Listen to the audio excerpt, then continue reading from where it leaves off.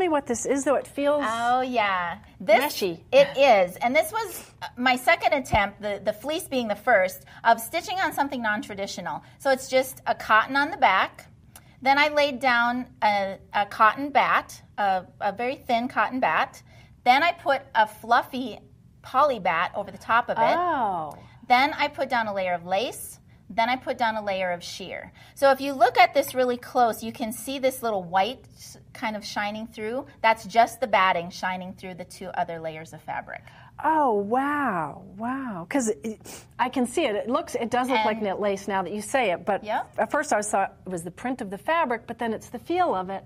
Yep, that's so it's different. just lace underneath of underneath of a sheer. Okay, so usually with your quilts, even you said you've used wool on top of your cotton to give the poof, but this time you used. I, this time I used um, the poly just because it's what I had at the Okay, time. okay. But either a wool or a poly would be perfect for this application because you can really see that Mm-hmm. d- dimension and the, the depth of the quilting. Great, excellent. Okay.